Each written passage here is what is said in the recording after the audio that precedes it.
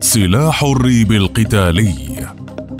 مصر باتت تمتلك 28 قطعة من هذا السلاح في زحمة الغواصات والفرقاطات والقاذفات بعيدة المدى التي أعلنت عنها مصر خلال افتتاح قاعدة 3 يوليو البحرية.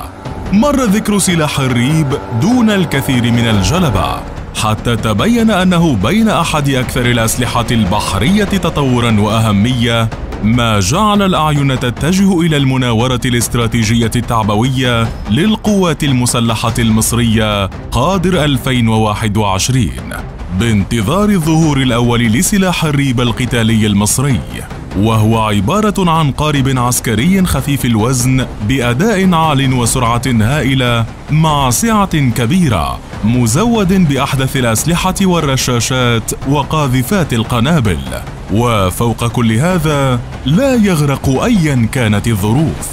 ويتركز استخدام هذا القارب من قبل أفراد القوات الخاصة لتنفيذ مهام تتطلب وحدات بحرية خفيفة سريعة الحركة بهدف مباغتة العدو وتدمير قواته والإخلاء في وقت قياسي. ما سيمكن القوات البحرية المصرية من تنفيذ مهام عسكرية خاطفة على شواطئ أي عدو أو في اعالي البحار انطلاقا من الطائرات أو السفن الحربية. فما هو سلاح ريب القتالي؟ ولماذا رصدت مصر الميزانيه العسكرية لامتلاكه؟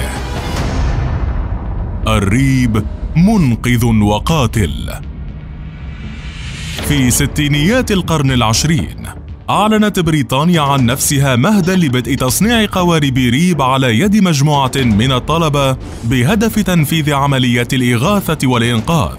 وريب بالإنجليزية اختصار لجملة Rigid Inflatable Boat وتعني القارب المطاطي الصلب القابل للنفخ إذ كان الهدف من تصنيعه حينها المزاوجة بين قوة القارب ومرونته وتقليل فرص غرقه. وفي عام 1971 أنتجت شركة زودياك ميلبرو الفرنسية أول قارب ريب للأغراض التجارية. قبل أن تصبح الشركة منتجة لقوارب ريب القتالية. وفيما بعد ظهرت شركات عالمية أخرى لتنتج أنواعا مختلفة من قوارب ريب منها المصمم بمهام القوات الخاصة وأخرى لخفر السواحل إضافة إلى أنواع خاصة بقوات الشرطة ونوع آخر مخصص لمهام البحث والإنقاذ. لكن سرعان ما باتت الولايات المتحدة الرائدة في تصنيع الريب القتالي عبر شركة ريب كرافت الأمريكية التي أعلنت عن أكبر نسخة من قوارب ريب بطول 12 مترا ونصف والمجهز لعدد كبير من الأفراد.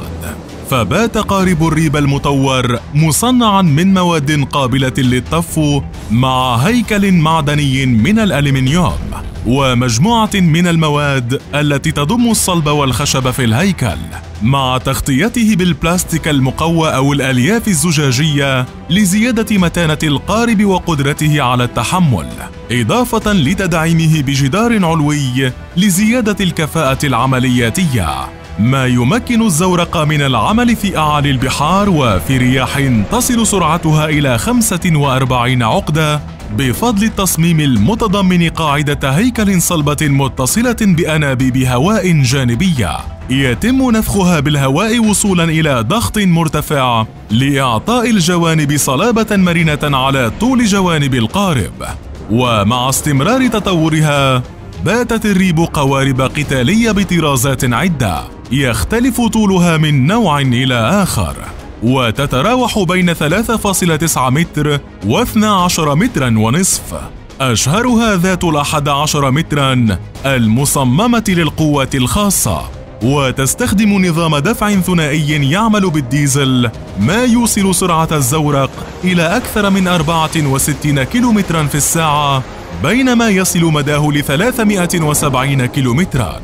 ويمكن للقارب الواحد أن يحمل عشرة أشخاص مع أسلحتهم إضافة إلى التسليح الخاص بقارب الريب. ويتضمن مدفعا رشاش طراز M60 يستخدم طلقات من عيار 7.62 ملم وقاذف قنابل طراز MK19 يستخدم قنابل قطر 40 ملم ومدفعا رشاش عيار 50 M2 يستخدم طلقات 12.7 ملم وتطلع قوارب الريب القتالية بمهام بينها نقل مجموعات القوات الخاصة البحرية إلى سواحل العدو بسرعة كبيرة أيا كانت الظروف الجوية جراء ثباتها العالي وخفة وزنها إضافة لقدرتها على الاقتراب من الشواطئ بفضل الغاطس الصغير الذي تتمتع به. ما يمكن طاقم القارب من التسلل إلى المناطق البرية لتنفيذ مهام الاستطلاع قبل الهجوم بواسطة القوات التقليدية. أما نقل قوارب الريب فقد يتم عبر السفن الحربية أو من طائرات النقل العسكرية مثل سي 130 كما في حالة القوات الأمريكية. كما يمكن لقوارب ريب أن تنطلق من قواعدها الأساسية حال كانت المهام المكلفة بها تقع في نطاق عملها خاصة بعد ظهور قوارب ريب القتالية الروبوتية.